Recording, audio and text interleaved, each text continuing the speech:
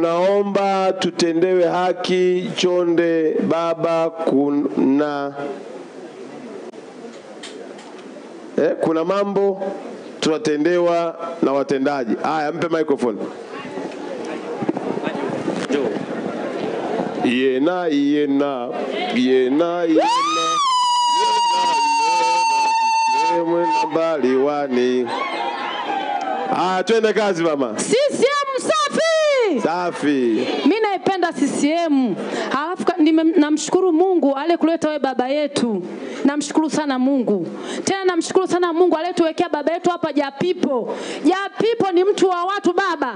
Japipo anatubeba, Japipo anatulea. Namuona Ha, sasa kero yangu mi baba, mwezi wa kumi na mbili walikuja watendaji nyumbani kwa marehemu mama yangu.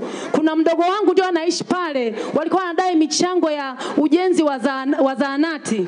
Walichokifanya pale, wakaingia kwa wapangaji, wakaingia hadi chumbani kwa na mpangaji wangu mmoja mjamzito, wakaingia wakachukua elfu kumi na tano wakaingia kwa mpangaji mwingine wakachukua elfu kumi na tano wakaingia sasa kwa mdogo wangu waka- wakabomoa mlango, mpaka sasa ule mlango uko wazi haujatengenezwa.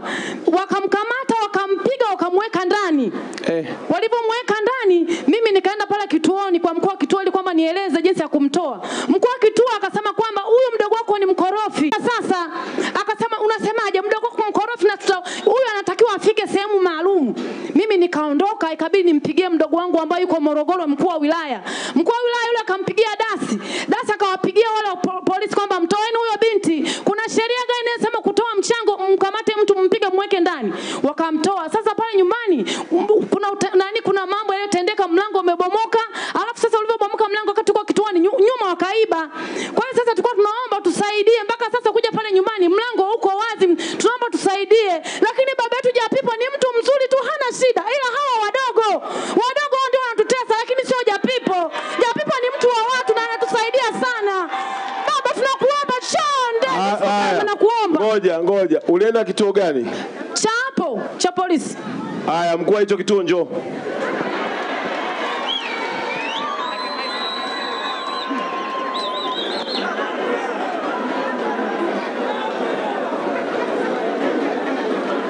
Alafu na wale watu waliokuja kubomoa mlango nawajua. Walikuwa watendaji na wagambo. Mtendaji yupi? Watendaji majina yao mimi siwajui, wate- wa- nani wangu ndio ndio wanafahamu. Watendaji wa kata gani? Wakanda ya kata ya Mji Mwema. Kuna mwingine wate- anaitwa Rita, mwingine anaitwa Rita, kuna wengine siwafahamu majina yao. Haya, Rita yuko wapi? Na mtendaji wa kata Rita ndio aliyempiga yule dogo. Rita yuko wapi? Mtendaji wa kata yuko wapi?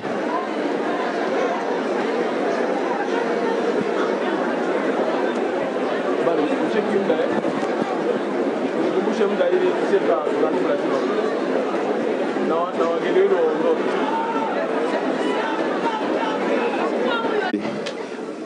Mkuu wa kituo, una taarifa yoyote ya mtu aliyewekwa ndani kwenye hizo tarehe, Ninazo taarifa. na mlimtoa kwa utaratibu upi? Ah, Tulimtoa kwa utaratibu wa kudhaminiwa. E, Mheshimiwa Katibu Mwenezi, naomba nieleze swala hilo kama ifuatavyo. Mheshimiwa Katibu Mwenyezi, kwanza mimi naitwa SSP Omari Diwani, ni mkuu wa polisi wilaya ya kipolisi Makambako.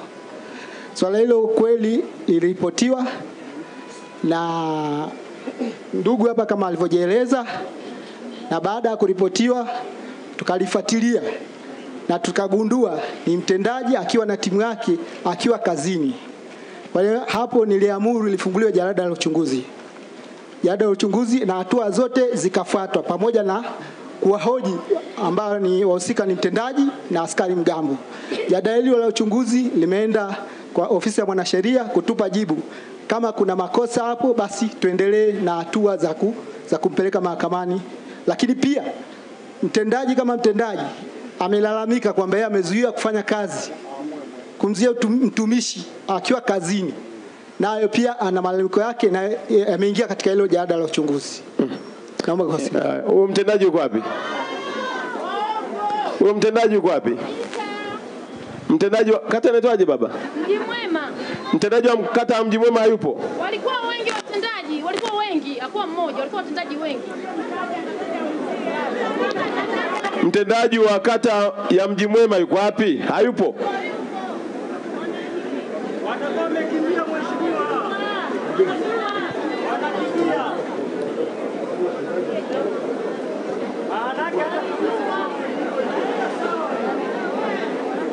Yaani michango wanavunja na milango wanachukua na hela.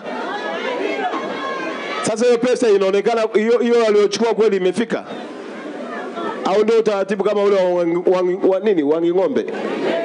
Eh? Eh, kwenye kata ya Kipengere eh, haya mambo kweli. Sasa haina shida. Kwenye ofisi ya mkuu wa mkoa kuna mkuu wa idara anahusika na mambo ya local government. Yupo hapa leo? Kwenye ofisi ya mkuu wa mkoa kuna mtu huwa anahusika na mambo ya local government, yaani yeye watendaji wale wa kata, wa mtaa, wa nini wako chini yake. Yuko hapa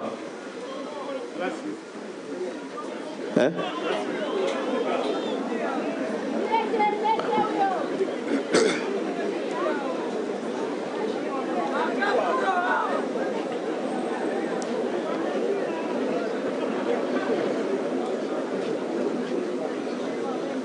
Weni ah, sogea basi hapo, tushampata basi hapo, si ndio yeye? Ah, sogea hapo mzee. Masikioni mwako unavyosikia habari kama hizi za kata ya Mji Mwema pamoja na Kipengere, ndani yako unatuambia nini? Ah, Mheshimiwa Mwenezi, ndani ya moyo wangu sipati amani, jambo lisio zuri. Basi nikuombe. Umsaidie rasi na mkuu wako wa mkoa. Pita, fanya unda timu yako na wewe ya kukagua utendaji kazi wa watendaji wa mitaa na wakata. So, Inawezekana kuna watu wengine mamlaka yao yale yanaumiza wananchi, alafu wananchi wanaichukia serikali. Lango kuvunja, kuingia ndani, kuchukua pesa, alafu wengine kuwakamata, kuwapeleka polisi. Unaona polisi nao wanasema kwa kitendo hicho eti polisi nao wamemzuia yeye kufanya majukumu yake. Manake mara nyingine ni kwamba anatuhumu tena polisi, na wakati mwingine polisi wanapewa ubaya wa ubaya wa watendaji wengine, sio polisi. Kuna kesi zingine sio za polisi, na kuna watendaji huko kwenye maeneo ni miungu watu kabisa, kwa sababu wewe wako chini yako na wewe ndio una mamlaka ya kufanya wafanye kazi vizuri, kama ni semina, kama ni nini. Lakini kwanza chunguza, mwombe rasi akusaidie fungu, unda timu yako iende ichunguze hao watendaji. Tumepokea Mheshimiwa. Sawa, Hii tuwabaini wale, yani tumalizane nao mapema. Mimi nataka elfu mbili na ishirini na tano hizi kero hazipo.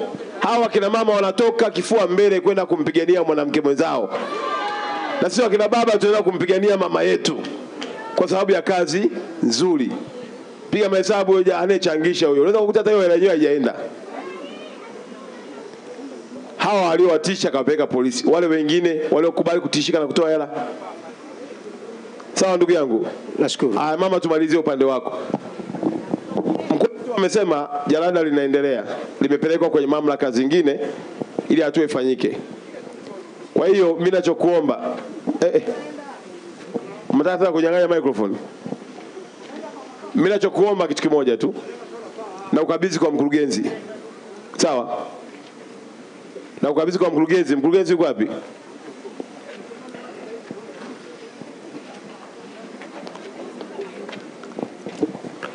Kwani tukitoka hapa na wewe unaenda unaenda Njombe? Ndio mkuu, Tunaenda wote? tunaenda wote. Haya, ofisini kwako mtu gani unamwamini? Kwa, kwa swala hilo naamini afisa utumishi. Ah, ukiacha afisa utumishi, Ndio. nataka sasa hivi umchukue mtu unayemwamini akatafute fundi, mlango ukatengenezwe leo kwa gharama zako za halmashauri. Hiyo nyumba hailali wazi tena, alafu nyinyi mnaingiza kwenye ripoti ya vile vitu vilivyoibiwa, ili hatua itakapokamilika tumchukulie na hatua yule amesababisha mpaka na wizi. Tena Mungu tumshukuru tuangesababisha mpaka mjamzito aka akajifungua kabla ya wakati, singekuwa ni hatari zaidi. Kwa tafuta mtu wako akarekebishe mlango wa watu. Sawa mkuu. Eh, mchana huu Asante. na wasaidizi wangu, chukue namba ya huyo mama ili ikifika jioni mpigie muulize mlango umerekebishwa. Eh, sisi haya mambo sio kwenye mikutano tu ili mradi liishe. Ah, hapa ngoma lazima ieleweke. Tunadai fidia za maeneo yetu yamechukuliwa na mwekezaji tangu elfu mbili na saba